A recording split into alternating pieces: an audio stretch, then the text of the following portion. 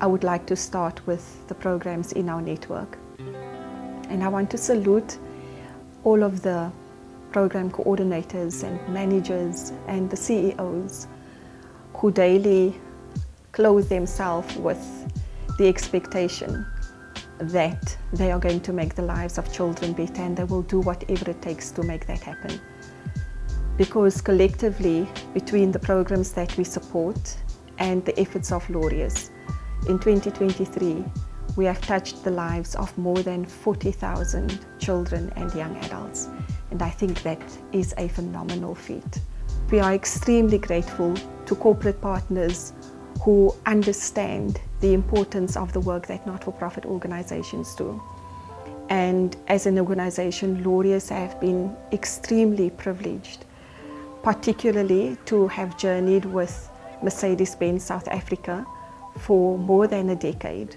We have seen how they have showed up in our corner to push us over the line every year in terms of the objectives that we set for ourselves and to come alongside us not only to applaud the work that we do but to get their hands, their hearts, their pockets involved in everything that we do. Other than Mercedes-Benz, we have a number of Goodwill supporters. So to our national partner and all of our Goodwill partners who enable us to bring more sport for development programs into our network, a very big thank you. We have a vibrant, very dedicated and committed board.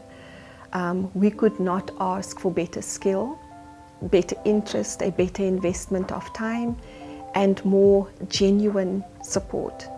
The privilege to do the type of work that we are doing, I know for my team, it is about more than a paycheck. It is about the soul commitment that we have made. Uh, it is not just our skills that are involved it's our hearts, it's our emotions, our the passion, the inspiration. It's it's it comes from a place that is sometimes bigger than ourselves because we believe in this vision. We believe in a better South Africa.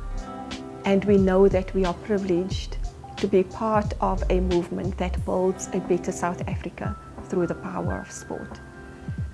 From the Laureus Sport for Good Foundation, we thank you all our partners in the not-for-profit space, all our partners in the Laureus network, all our members on the Board of Trustees, all our Sport for Good ambassadors, all our Laureus Yes leaders, all our new babies in the Laureus Elect program, and then particularly all the champions that show up with me every day in the Laureus office. I thank